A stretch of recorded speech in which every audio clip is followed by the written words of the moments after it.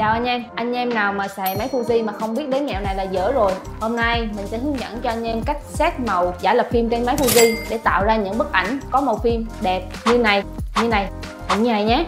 Mình sẽ hướng dẫn cho mọi người cách xét thông số màu giả lập phim của Fuji trên app. Thì đầu tiên mọi người muốn xét cái màu giả lập theo ý muốn của mình thì mọi người nên tải cái app Fuji Weekly này về máy. Đây, app này đây.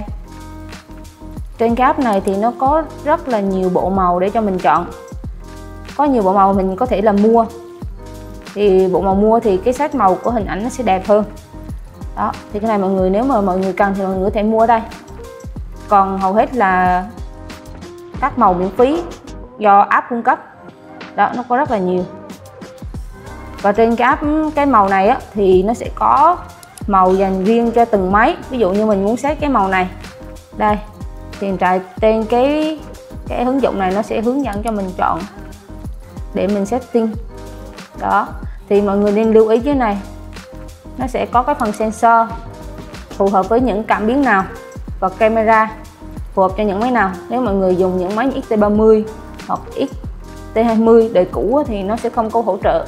Đây, những cái máy mà nó hỗ trợ để mình setting. Ok, thì giờ mình sẽ hướng dẫn mình thao tác trên máy nha.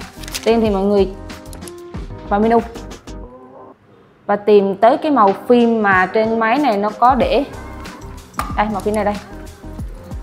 Ví dụ màu phim nó tay git nét đó.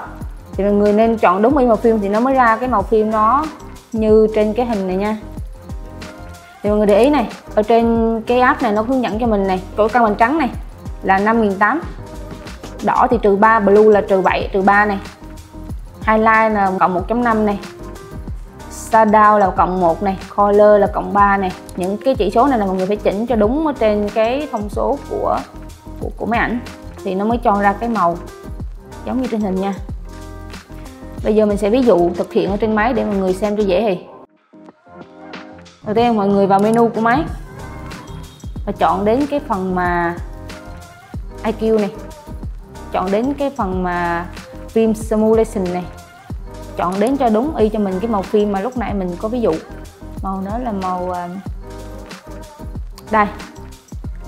Màu đây nhé mình chọn ok vào.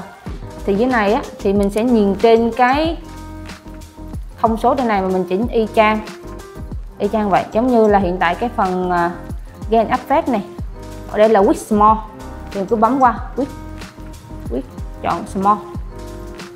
Color tone này, nó cũng để là width thì mình chọn là quyết phần xuống qua balance thì mình sẽ chỉnh là 5008 bấm shift một cái nữa thì mình sẽ chỉnh là cái độ phần chỗ đằng phần red và phần blue. Thì nó giống như thông số ở trên trên điện thoại. Rồi xuống dynamic range. Thì phải là 200 phần trăm.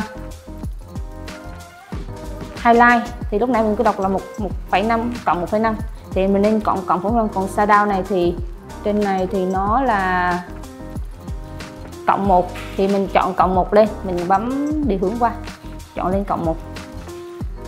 Rồi, color là cộng 3 đây, trừ 2 cái hai hai xô này thì mình trừ 4 clarity thì mình trừ 2 còn những phần, cái cái cái phần setting còn lại thì mình không quan tâm vì cái máy này nó sẽ không ảnh hưởng đến cái chất lượng, giống như, cũng như là cái màu phim mà máy khi chụp hình hình ra. Đây, mọi người lưu ý, phải chỉnh đúng như trên cái thông số của app đưa ra thì mình mới cho ra một cái màu phim nó chính xác. Lưu ý thì cái chỗ phim simulation này, mọi người nên chọn đúng cái hệ phim mà máy đưa ra nha. Đó. Bây giờ thì mình sẽ ra ngoài và test thử cái hệ màu này mình set. Nó sẽ hiển thị như thế nào nha.